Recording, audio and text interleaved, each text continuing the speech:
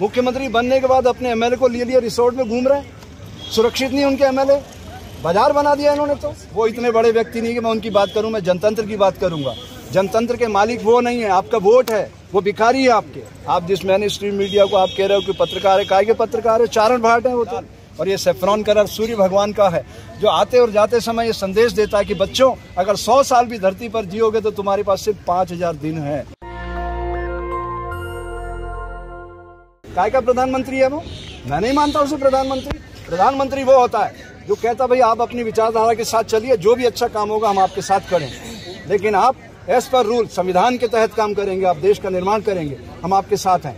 जनता ने जो निर्णय दिया उसको शिरोधार्य करते मंडी लगा दी इन्होंने। मध्य प्रदेश में क्या हुआ? महाराष्ट्र में क्या हुआ?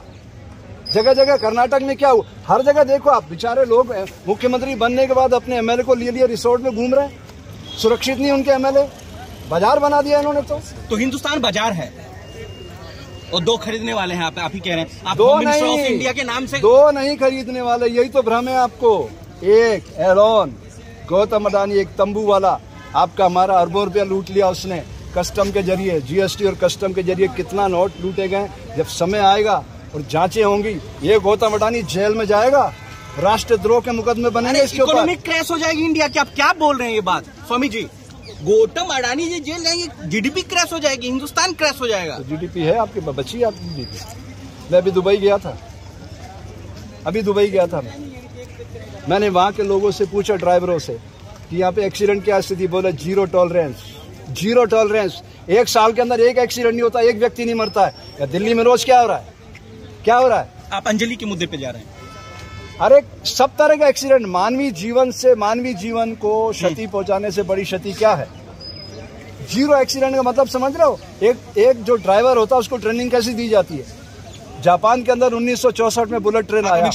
अट्ठावन सालों में वो इतने बड़े व्यक्ति नहीं कि मैं उनकी बात करूँ मैं जनतंत्र की बात करूँगा। जनतंत्र के मालिक वो नहीं है आपका वोट है वो भिखारी है आपके।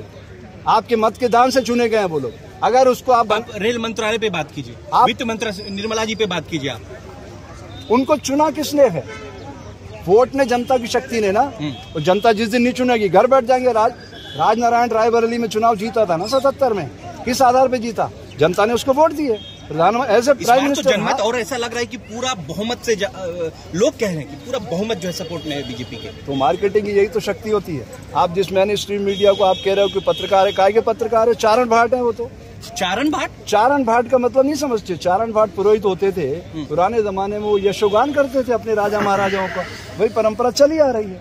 उनके दिमाग में वही वायरस है गुलामी वाला।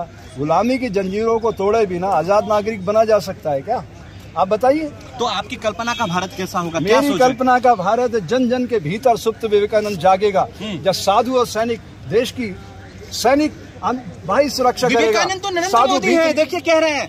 मैं मैं आपको बता रहा हूँ, जिस तरीके से आप विवेकानंद टाइगर की बात करो तो कह रहे हैं नरेंद्र मोदी जी हैं, साक्षात अवतार लिए हैं। आपने देखा नहीं वो वीडियो सोशल मीडिया पे किस तरीके आपको से पता है, देश में कितने साधु हैं? सत्तर लाख साधु हैं। सत्तर लाख साधु यूनिफॉर्म सेफ्रॉन पहन के घूमते हैं सड़कों पर।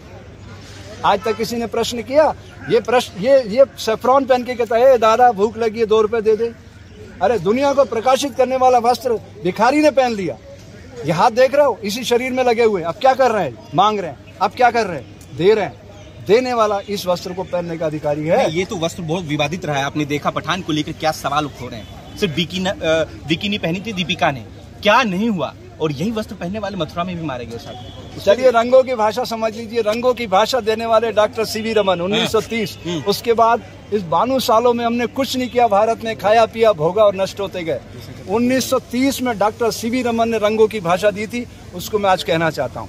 जल, सफ़ेद, पृथ्वी, पीला, आकाश, नीला, वायु धूम्रमेघ अग्नि, लाल और ये सेफ्रॉन कलर सूर्य भगवान का है, जो आते और जाते समय ये संदेश देता है कि बच्चों, अगर सौ साल भी धरती पर जियोगे तो तुम्हारे पास सिर्फ़ पाँच हज़ार दिन है। इस प्रकृति की बगिया को गुलजार करना और भारत के ऋषियों के त्याग और तपस्या के ज़रिए सारी दुनिया को एकता के सूत्र में बांधकर अमन चैन सुख शांति का पैगाम देना। हमारे यहाँ तो हर मतलब हर प्रार्थना के हर स्वर में जग जीव के कण कण के कल्याण की भलाई का भाव छुपा हुआ जीव निर्जीव निर्जीव वस्तुओं की भी हमने पूजा की सजीव को तो छोड़ो निर्जीव को भी हमने पूजा है।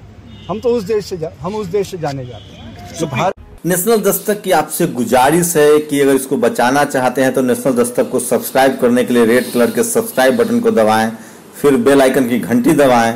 नेशनल दस्तक को बचाने के लिए बहुत ज़रूरी है कि हर खबर को शेयर करें, लाइक करें, कमेंट ज़रूर करें।